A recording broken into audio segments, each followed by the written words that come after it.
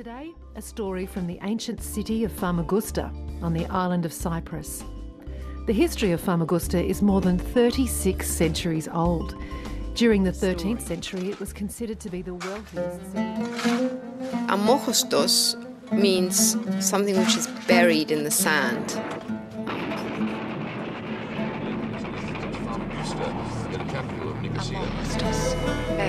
President of Cyprus, Archbishop Makarios, has reacted bitterly to the renewed findings. As you heard a few hours ago, war erupted again in Cyprus. Dust settled on the Archbishop's embattled republic.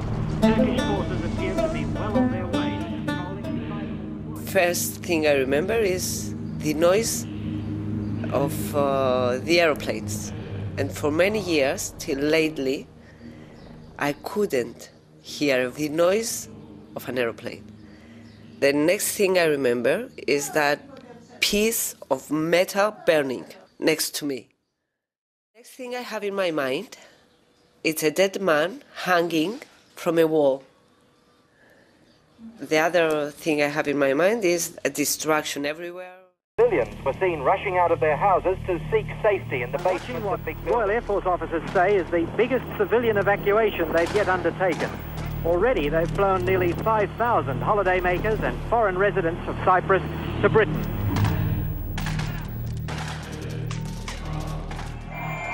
And then I realized that people were getting killed. And then I realized that it was a civil war between us. But we didn't know what we were doing. We are used.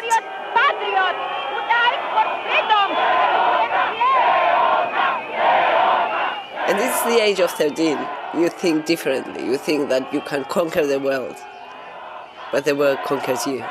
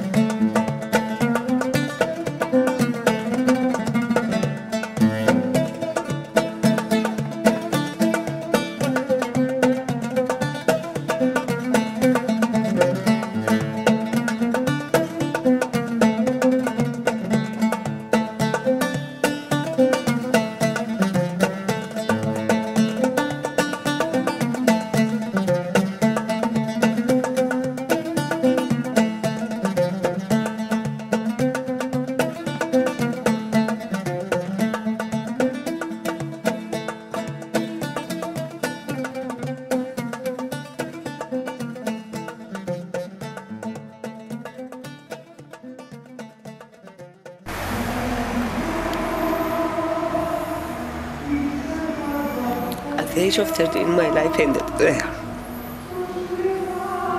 We have been raped and we have been marked like animals with. Sorry. Sorry. Oh God, I don't want you to see me crying. We have been marked like uh, animals with hot iron. The, the sign of their flag with the star. Okay?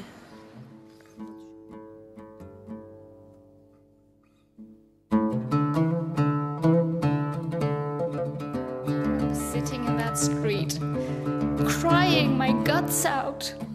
Because they were walking one way and I was walking the other way, and I just felt it's so bloody unfair and so stupid.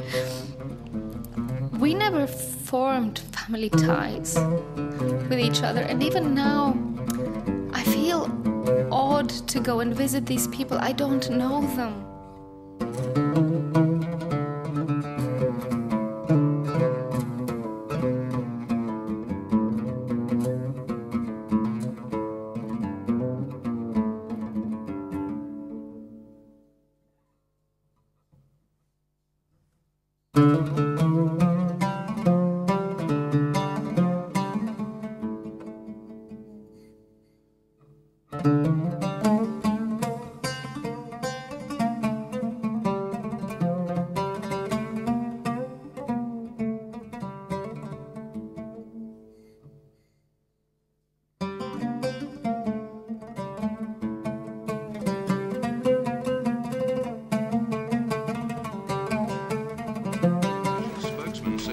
Units beginning to encircle the main airport on Cyprus.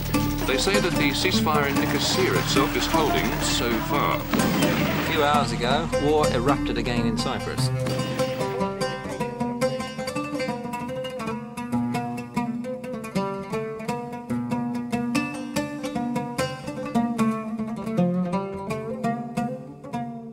For 30 years, I mean, we see our houses from far away.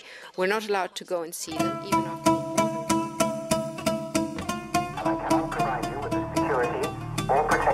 I would wish. The United Nations are doing a magnificent job in trying to arrange a ceasefire, and I am still hopeful that this can be arranged. My advice to you is very short. Oh, city, dead, deserted, I weep for you. Home where my babes were born, this is your end. Who would not weep? City lost, children lost.